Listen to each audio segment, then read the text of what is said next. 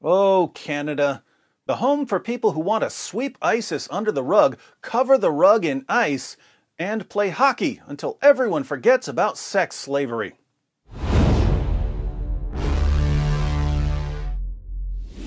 Nadia Murad is a Yazidi human rights activist. ISIS jihadis took her as a captive after slaughtering hundreds of people in her village, including six of her brothers and stepbrothers. She was repeatedly beaten, tortured, and raped as an ISIS sex slave. One day, her captor left the door unlocked and she ran, eventually making her way to a refugee camp. The following year, 2015, she spoke to the United Nations Security Council about human trafficking. She's been campaigning for the human rights of Yazidis and for victims of sex trafficking ever since. In 2018, she won the Nobel Peace Prize for her activism. Nadia was recently scheduled to speak about her experience to students in Canada, but there was one problem. She was in Canada. The New York Post reports A woman who survived being kidnapped by ISIS and plunged into sexual slavery as a teen has been canceled by the largest school board in Canada, according to a report.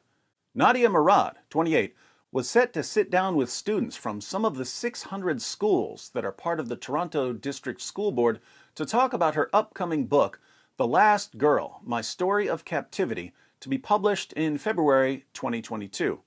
But School Board Superintendent Helen Fisher pulled the plug on Murad's visit, saying she would not let students attend because the book would be offensive to Muslims and foster Islamophobia, the Telegraph reported.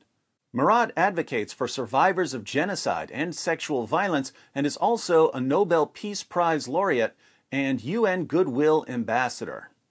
Why would a Yazidi advocate for survivors of genocide and sexual violence be offensive to Muslims? I thought ISIS had nothing to do with Islam. Why can't she talk about it without offending Muslims? Imagine scheduling a Holocaust survivor to speak at a school, but the school board cancels the event, saying, We can't allow students to hear this Holocaust survivor speak about what she experienced in that concentration camp because her story might be offensive to Germans. Strange place, Canada.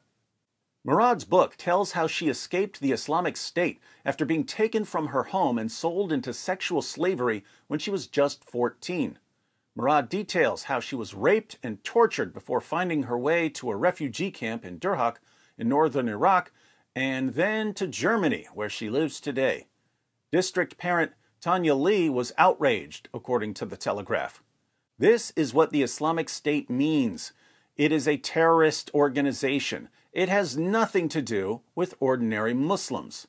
The Toronto School Board should be aware of the difference, she said. Now that's interesting. ISIS has nothing to do with ordinary Muslims.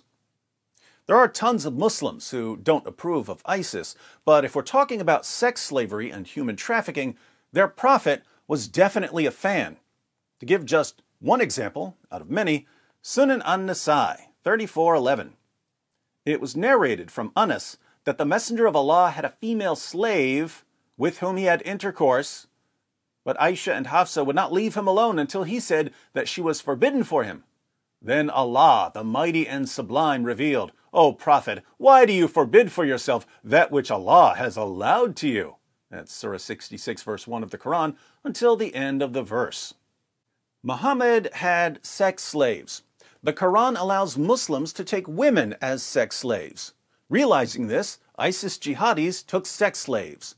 Some of those sex slaves escaped and began speaking out, only to be shut down by Canada, where the maple syrup chugging, overly apologetic Islamophiles who control the education system are more worried about hurt feelings than they are about confronting the problem of human sex trafficking, because they know that the more students hear about how women and girls were treated by ISIS jihadis, the more these students might go online and try to figure out why ISIS jihadis thought it was perfectly acceptable to rape their captives. As an American, I'd like to ask all our Tim Hortons obsessed neighbors to the north what do you think about that, eh? Of of of of of of. This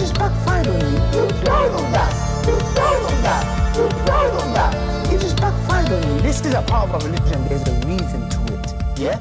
Yeah? Yeah?